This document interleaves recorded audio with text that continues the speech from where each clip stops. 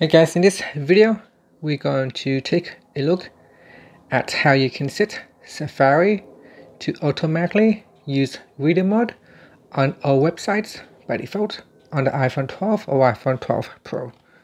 So first let's go back to your home screen by swiping up at the bottom of the screen.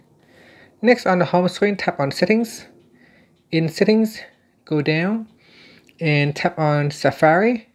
In Safari, you want to go down to the settings for website section and then tap on reader. In here, tap on all website switch to turn on or off.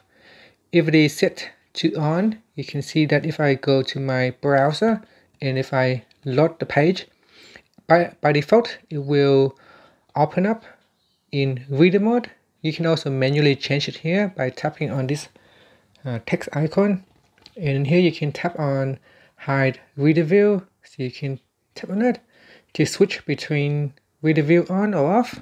Now you have to do this manually if you do not um, set it by default in settings. So if I switch it off here you can see if I go back to my browser.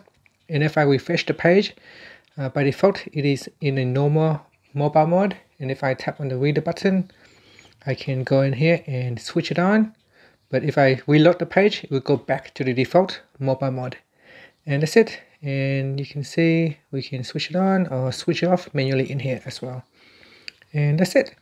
Thank you for watching this video. Please subscribe to my channel for more videos.